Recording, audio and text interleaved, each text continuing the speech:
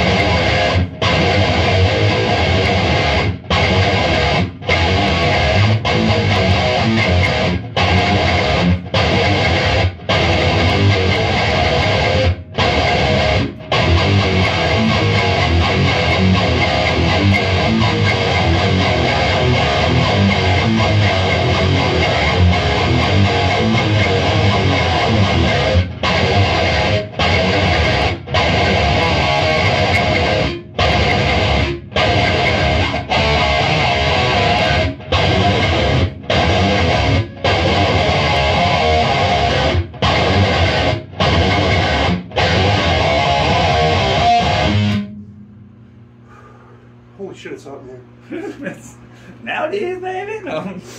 Here she is. I'm gonna. nice. I ordered a like a neon pink uh, pickup ring uh, thing here, and it's a little too big. So I think I'm gonna just take this the stock one off and have uh, Brian Grubb paint it for me. I think that'll make everything pop a little bit. Of course, bridge blocked. you ain't going nowhere, friend. And cool thing, push pull on the bridge pickup. That's pretty awesome. I have a few guitars that do that now. I think it's uh, really cool. Neck through.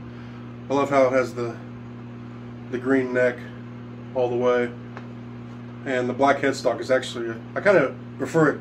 At first, I was like, man, I wish, I wish the uh, headstock was green too, but Yeah. I think it really kind of the contrasting and contrasts. Yeah. Sets it off. All right. Thank you for. Uh, Thank you for watching. You probably didn't watch the whole thing, did you? Well, if you did, I got a treat for you. Not really, but thanks.